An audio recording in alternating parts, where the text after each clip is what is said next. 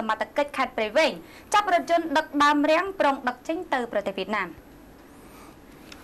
សមត្ថកិច្ចនៃខេត្តព្រៃវែងកាលពីថ្ងៃពុធកន្លងទៅនេះបានចាប់ឃាត់រថយន្តធំមួយគ្រឿងនៅចំណុចក្បែរផ្សារកណ្ដាលស្រុកកំពង់ត្របែកដែលប្រុងដឹកដើមរាំងយកទៅប្រទេសវៀតណាមនោះ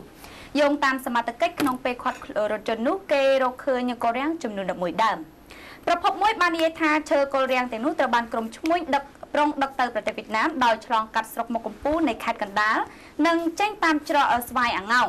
គូបញ្ជាក់ថាកូរាំងបច្ចុប្បន្នកំពុងតែពេញនិយមខ្លាំងនៅក្នុងប្រទេសវៀតណាមដោយសារតែប្រជាជនរបស់គេមានជំនឿថា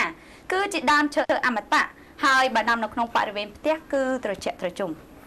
បាទចំណុចនេះដែរយើងឃើញថាខ្មែរយើងមិនសូវចូលចិត្តដើមរាំងទេចិត្តដើមនឹងវត្តប្រកាន់ថាមានព្រាយកាន់ព្រាយអីខ្មោចបាទយើងថាចា៎ព្រាយកាន់ខ្មោចអញ្ចឹងទៅប៉ុន្តែស្រុកវៀតណាមគេចូលចិត្តថាហ្នឹងវាត្រជាក់ត្រជុំហើយបើនៅកម្ពុជាក្រោមដើមរាំងភ្នំមួយហ៎នៅធំមក5អោបខ្ញុំហ៎បាទនៅកម្ពុជាក្រោមនៅបាទវត្តនាងខ្ញុំកំពុងហើយអានេះក៏ជានិមិត្តសញ្ញាណនៃអឺនៅដើមឈើកម្ពុជាដែរបាទហើយយើងអឺកាត់លក់ទៅគោះទាំងគល់ឲ្យគេអញ្ចឹងគេថាកោះគេហៅកោះ លុបបំបត្តិនៅស្លាកស្នាមអឺដើម